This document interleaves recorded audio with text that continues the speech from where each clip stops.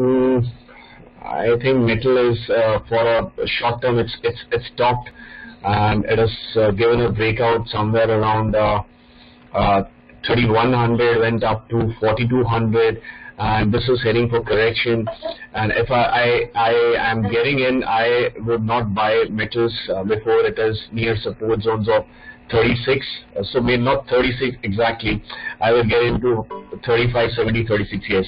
So these are the area. It is presently at 3986 indices so let it correct uh, metal sector is hot at this point and it is walking away from the earnings.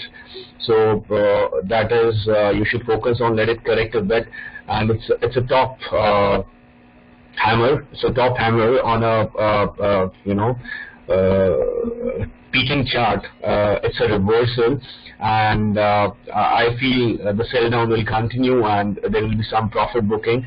So wait for levels, wait for good levels to get in. Um, uh, presently it's overbought. Uh, so metal is something which I'm not looking forward to. But yes, uh, a few stocks personally I'll, I'll speak over, which I feel that it can give you some 30-35% return going forward. I will discuss with you.